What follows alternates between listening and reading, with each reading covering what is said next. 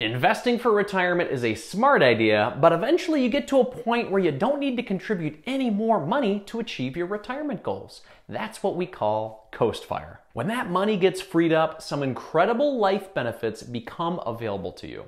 I've learned these benefits from the dozens of interviews that we've done on this channel with other Coast Fire families nationwide. And my wife and I have experienced these perks as well after achieving Coast Fire at 40 years old.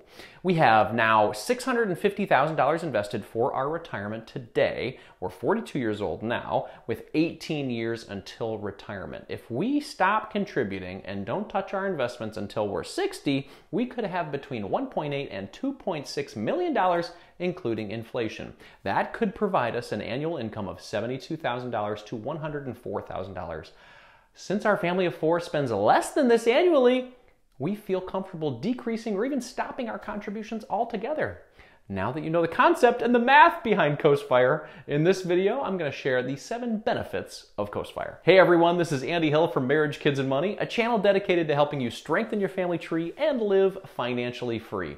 Let's jump right into those benefits of Coastfire right now. Number one, vacation more. When you slow down or stop your retirement contributions, you'll have more money to vacation today. Many people think, well, when I retire, I'll travel more. Or when I stop working, it'll be time to ramp up my adventures. But what if you don't want to hike or ski anymore when you're in your 60s or 70s? What if those trips across the country sound more of a pain than a fun journey? Coastfire allows you to take advantage of more of your money for trips and adventures with the ones you love today. Number two, enjoy more fun money. Depriving yourself of the little joys in life, it gets old really fast. With more money available, you can treat yourself more often. Have you been saying no to that dinner with friends too much lately?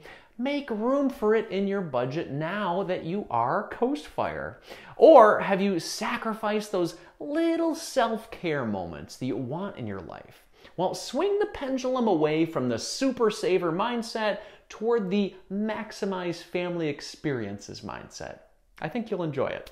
Number three, pay off your mortgage. After hitting Coastfire, another idea that provides emotional relief and financial flexibility is to become mortgage free. We paid off the mortgage on our $500,000 home in five years. That allowed us to lower our annual expenses by $15,000 per year. With lower expenses, we had more flexibility with our work and even more margin to live life fully. Combining the benefits of a paid off house and Coastfire can be a recipe for family financial independence. Number four, start a business. Your budget becomes more open when you're Coastfire and even mortgage free. This can allow you to save up money to start a business. If you've always dreamed of becoming a small business owner, this can be your moment to do it. With a little capital built up in a high yield savings account, you can create a monetary bridge that allows you to move away from work that you don't enjoy toward a work life that you do enjoy.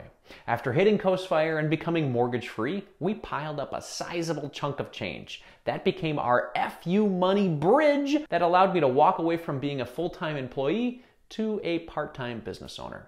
Number five, full time to part time work. Let's say you and your spouse are working full time and enjoying life mm, part time. With Coastfire, you can flip that script and enjoy life full time and work part time.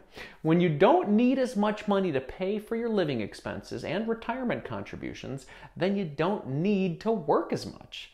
Perhaps you've been working hard for a decade or two and you're burnt out. Luckily, you've been piling up money in your workplace 401k to the point where you're Coastfire. If you and your spouse dial back your retirement contributions, one of you could go to part time work depending on your annual living expenses. This life hack is ideal if one of the spouses wants to become a stay at home parent.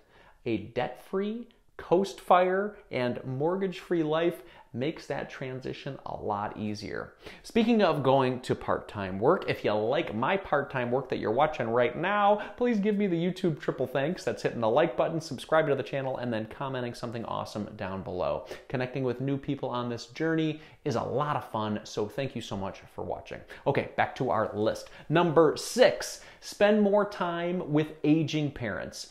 As our parents age, it's important to carve out time for them.